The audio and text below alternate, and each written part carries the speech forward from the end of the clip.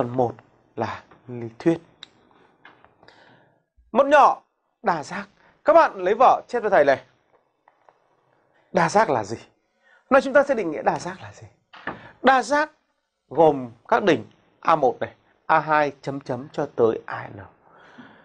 Là hình gồm thứ nhất là nó phải gồm n đoạn thẳng, được chưa?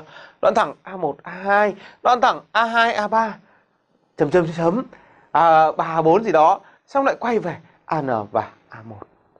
Nó thỏa mãn thêm một điều kiện là trong đó bất kỳ hai đoạn thẳng nào có một điểm chung cũng không nằm trên một đường thẳng. Có nghĩa chúng ta hiểu đơn giản.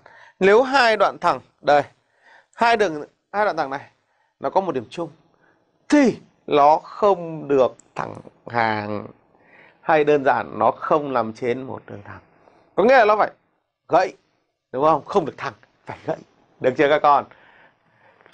Thầy sẽ vẽ minh họa.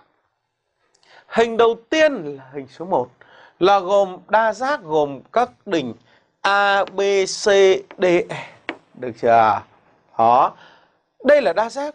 Vì sao các bạn nhìn? Nó gồm 5 đỉnh đúng không? Và nó thỏa mãn điều kiện này. Trong bất kỳ hai đoạn thẳng nào có một điểm chung cũng không nằm trên một đường thẳng. Đó. Có cái nào nằm trên đường thẳng đâu, đúng không?